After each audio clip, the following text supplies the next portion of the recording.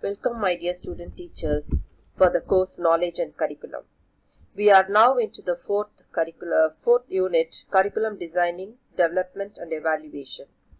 This is Dr. V. Girija, Professor and Head, the School of Education, Vels Institute of Science, Technology and Advanced Studies, Chennai. Now, this module is the first module of the fourth unit of the course Knowledge and Curriculum.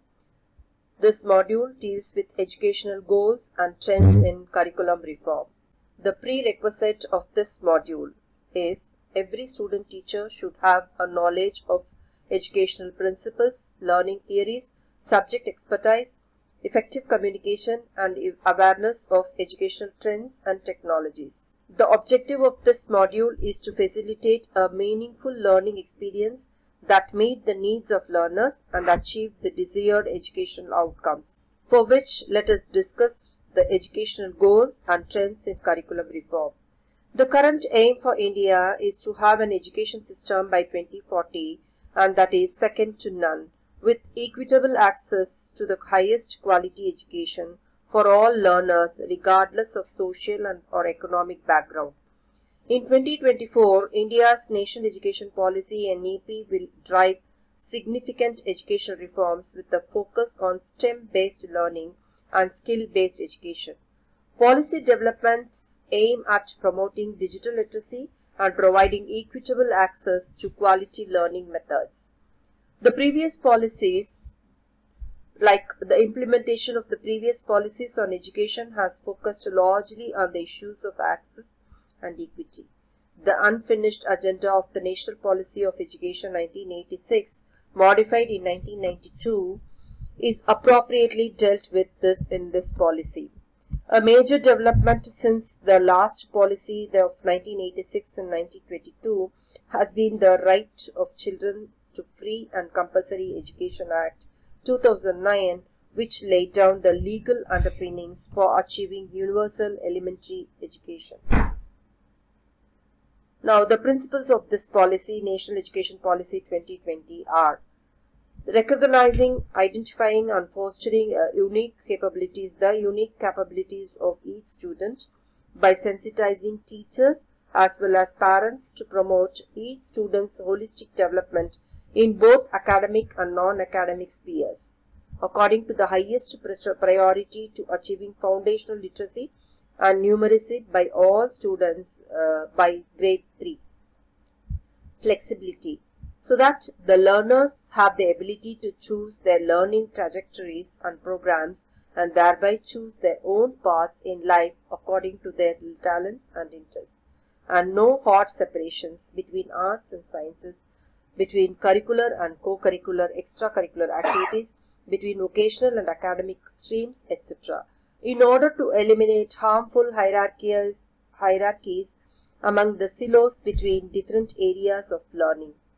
Multidisciplinary and holistic education across the sciences, social sciences, arts, humanities and sports for a multidisciplinary world in order to ensure the unity and integrity of all knowledge.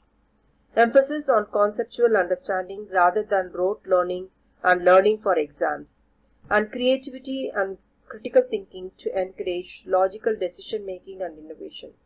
Ethics and human and constitutional values like empathy, respect for others, cleanliness, courtesy, democratic spirit, spirit of service, and respect for public property, scientific temper, liberty, responsibility, pluralism, equality, and justice, and promoting multilingualism and the power of language in teaching and language and life skills such as communication, cooperation, teamwork and resilience.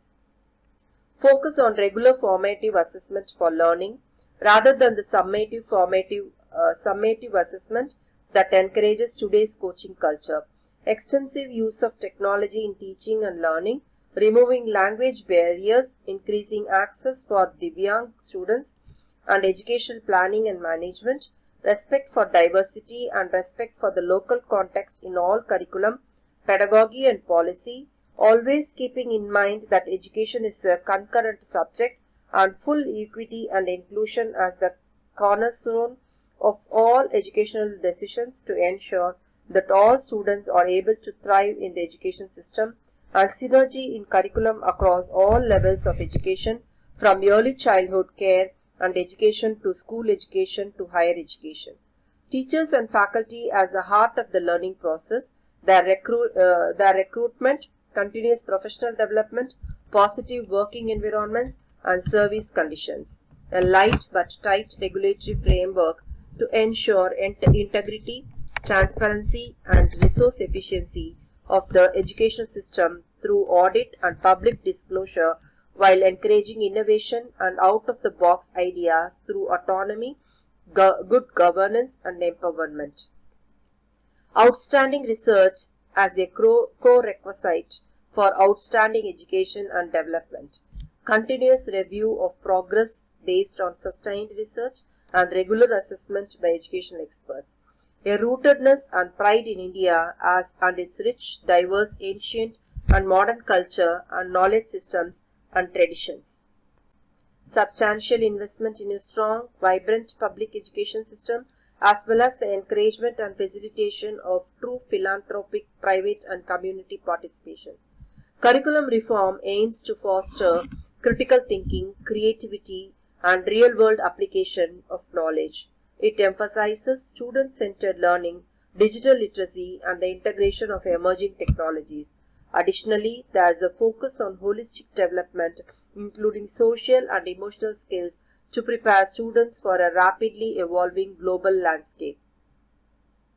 Recent trends in curriculum reform. Recent trends in curriculum reform include a shift towards personalized learning, project-based assessment, and interdisciplinary approaches.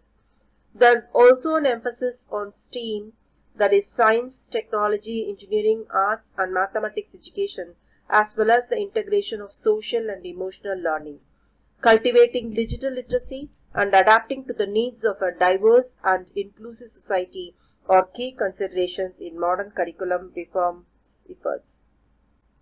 The vision of NEP 2020 this national education policy envisions an education system rooted in Indian ethos that contributes directly to transforming India, that is Bharat, sustainably into an equitable and vibrant knowledge society by providing high quality education to all and thereby making India a global knowledge and superpower. The policy envisages that the curriculum and pedagogy of our institutions must develop among the, students a deep sense of respect towards the fundamental duties and constitutional values bonding with one's country and a conscious awareness of one's roles and responsibilities in a changing world. The vision of this policy is to instill among the learners a deep-rooted pride in being Indian, not only in thought but also in spirit, intellect and deeds, as well as to develop knowledge, skills, values and dispositions that support responsible commitment to human rights, sustainable development and living and global well-being, thereby reflecting a truly global citizen. NEP on school education. This policy envisages that extant that is 10, uh, 10 plus 2 structure in school education will be modified with a new pedagogical and curricular restructuring of 5 plus 3 plus 3 plus 4 covering ages 3 to 18. The curricular and pedagogical structure of school education will be reconfigured to make it responsive and relevant to the developmental needs and interests of the learners at different stages of their development, corresponding to the age ranges of 3 to 8 and 8 to 11 and 11 to 14 and 14 to 18 years respectively. The curricular and pedagogical structure and the curricular framework for school education will therefore be guided by a 5 plus 3 plus 3 plus 4 design consisting of the foundational stage in two parts that is 3 years of Anganwadi that is preschool plus 2 years in primary school in grades 1 to 2 and both together covering ages 3 to 8. Preparatory stage that is grades 3 to 5 covering ages from 8 to 11 and middle stage grades 6 to 8 covering ages 11 to 14 and the secondary stage grades 9 to 12 in two phases that is 9 to 9 and 10 in the first and 11 and 12 in the second covering ages 14 to 18.